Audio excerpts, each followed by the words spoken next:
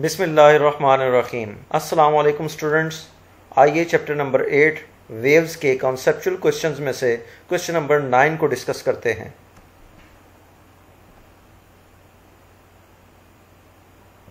Question number nine why does the speed of sound wave in a gas change with the temperature question है कि एक gas में sound की speed temperature के साथ change क्यों होती है? तो स्टूडेंट्स आप जानते हैं कि किसी भी गैस में या एयर में साउंड की स्पीड का formula v is equal to square root gamma p by rho है।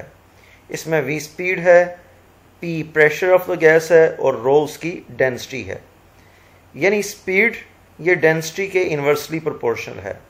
तो जैसे जैसे टेम्परेचर किसी गैस का इंक्रीज होता है तो टेम्परेचर के इंक्रीज होने के साथ उसकी, उसका वॉल्यूम इंक्रीज होगा। और जैसे जैसे वॉल्यूम इंक्रीज होगा तो उसकी डेंसिटी वो कम होगी। और अगर डेंसिटी कम होगी तो ये इक्वेशन हमें बताती है कि उसकी स्पीड साउंड की स्पीड उस गैस में फिर इंक्रीज होगी।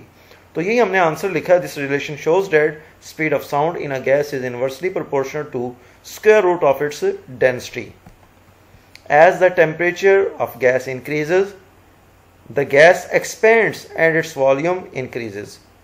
Thus, density of the gas decreases with the rise of temperature and therefore speed of sound increases. तो टेम्परेचर के बढ़ने के साथ वॉल्यूम इंक्रीज होता है डेंसिटी डिक्रीज होती है और डेंसिटी जब डिक्रीज होती है तो स्पीड इंक्रीज होती है तो स्टूडेंट्स उम्मीद है इस क्वेश्चन का आंसर आपको समझ आ गया होगा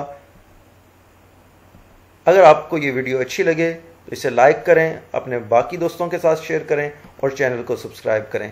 थैंक यू